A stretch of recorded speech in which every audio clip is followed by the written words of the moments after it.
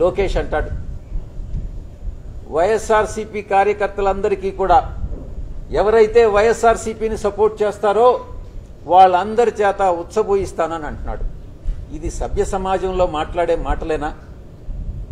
ఆయన అంటాడు మీరు కట్రాయర్ల మీద మిమ్మల్ని వీధుల్లో తిప్పుతానని అంటాడు. ఇక అసలు నాకు ఒకటే అర్థం కాంది. కడ్రాయర్ మీద వీధుల్లో తిప్పేటటువంటి కోరిక అసలు ఈ లోకేష్ ఎందుకు వస్తుంది అసలు? ఏదైనా మ్యానుఫ్యాక్చరింగ్ డిఫెక్ట్ ఏదన్నా ఉందా? అని అనేటటువంటి అభిప్రాయం కలుగుతూ ఉంది. ఇంకోటి కూడా చెప్తాడు ప్రతి మీటింగ్లో. ఎవరైనా కూడా ఏ వైఎస్ఆర్సీపీని గురించి ఏదైనా మాట్లాడినా నీ పేరు నేను ఈ ఎర్ర బుక్లో నేను నోట్ చేసుకుంటా ఉండా. నేను అధికారంలో కానీ వస్తే ఉచ్చబోయిస్తానని అంటాడు. భయపెడతాడు. థ్రెటన్ చేస్తాడు.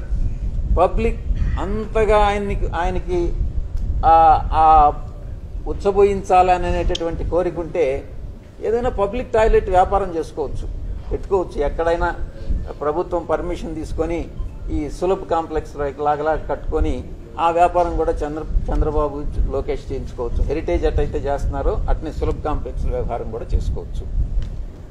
ఇక నేను నేను అధికారంలోకి రాబోతున్నాను. రాగానే ఋషికొండలో ఫస్ట్ కొట్టే బిల్డింగ్ ఋషికొండలో బిల్డింగ్లు కొట్టేస్తానంటాడు. నాకైతే అర్థమే కావట్లే. అసలు ఋషికొండలో బిల్డింగ్స్ ఎందుకు కొట్టాలి? అవి ప్రభుత్వ భూములు ప్రభుత్వ బిల్డింగ్లు దానిలో కొట్టాల్సినటువంటి అవసరం ఏముంది? ప్రభుత్వం ఖర్చు పెట్టుకొని కట్టుకుంటా ఉంది. ప్రభుత్వం కోసంగా. అది ప్రజల డబ్బుతో కట్టినటువంటి ఇవి. దానికి ఎందుకు అనేటటువంటిది నాకు అర్థం కావట్లే. ఇక ఇంకొక రకంగా చెప్పాలనంటే వైఎస్ఆర్ కాంగ్రెస్ పార్టీ డీబీటీ అంటే డైరెక్ట్ బెనిఫిట్ ట్రాన్స్ఫర్ స్కీమ్ని నమ్మింది. ఎక్కడా కూడా అవినీతి లేకుండా డీబీటీ స్కీమ్ అన్నటువంటి దాన్ని ఇస్తూ ఉంది. ప్రతి పథకం కూడా డీబీటీ ద్వారానే వెళ్తుంది. టీడీపీ పేరుని నేను ఒక రకంగా మార్చి ఆ పేరు నిజంగా మార్చుకుంటే బాగుంటుంది అని నేను చంద్రబాబు గారికి నేను సలహా ఇస్తా ఉన్నా. దాన్ని జీటీపీ జీటీపీ అంటే ఏంది? జీటీపీ అని రిపీటెడ్గా చంద్రబాబు గారు కానీ లోకేష్ కానీ చెప్తా ఉన్నాడు. జీటీపీ అంటే గెలిస్తే తంతాం అన్నటువంటిది. అది జీటీపీ అంటే. ఎందుకు అంటే ఒక ఒక విషయం చెప్తా. చంద్రబాబుది ఇదే డైలాగ్ లోకేష్ది కూడా ఇదే డైలాగ్. గెలిస్తే అందరినీ తంతాం కొడతాం బట్టలు ఇప్పుతాం గుడ్డలు కూడా తీస్తాం. నడి రోడ్డు మీద కడ్రాయర్తో మిమ్మల్ని నడిపిస్తాం అని తండ్రి కొడుకులు ఇద్దరు కూడా అందరిది ఒకే డైలాగ్ మూసలో పోసి మూసపోసినట్టుగా నేను ఒకటే అడుగుతా ఉన్నా చంద్రబాబు గారు అయ్యా లోకేష్ అసలు నువ్వు గెలిస్తే కదా నువ్వు ఈ పని చేసేది? గెలిచే అవకాశమే లేదు. గెలిచే అవకాశమే లేనప్పుడు మీరు కొట్టేదేంది? బట్టలోడ తీసేదేంది కడ్రాయర్తో ఊరేగించడం ఏంది అసలు మీ భాష ఏంది మీకు ఒక సంస్కారం ఉందా? మీరు ఈ యొక్క అసభ్యకరమైనటువంటి పదజాలాన్ని మీరు ఎలా నేర్చుకున్నారు అని నేను ప్రశ్నిస్తా ఉన్నా. ఇక మహిళల గురించి ఎస్సీల గురించి ఎస్టీల గురించి బీసీల గురించి మైనారిటీస్ గురించి వివిధ సామాజిక వర్గాల గురించి వాళ్ళకి ఏం చెప్పారు? మీరు ఏం చేశారు వాళ్ళకి? ఏం చెప్పారు?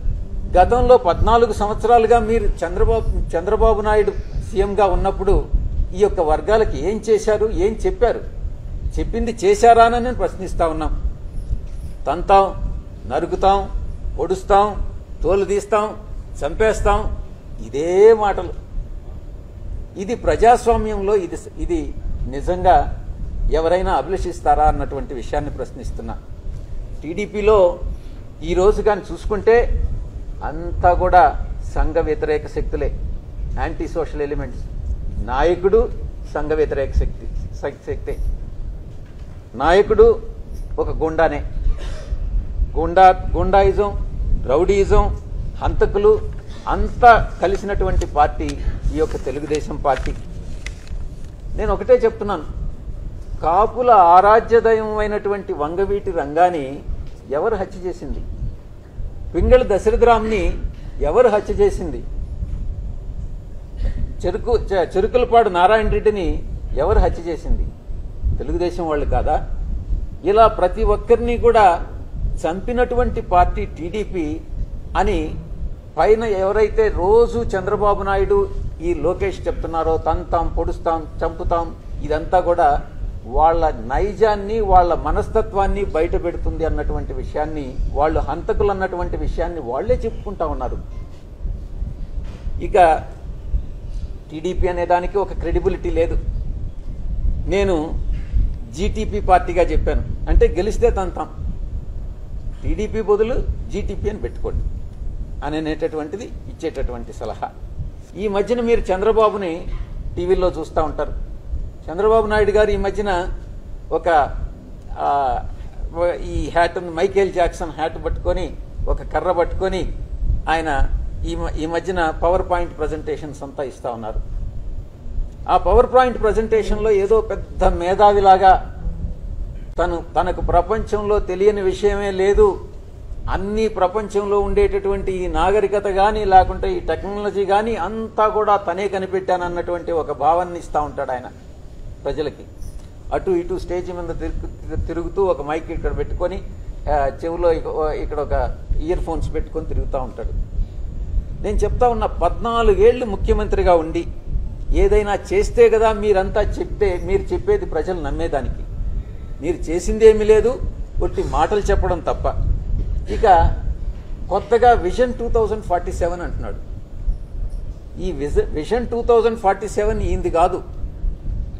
నీతి ఆయోగ్ వాళ్ళు ప్రవేశపెడితే దాన్ని ఈయన కాపీ కొట్టి ఈరోజు two thousand forty seven vision అని అని చెప్పి చెప్తా ఉన్నాడు.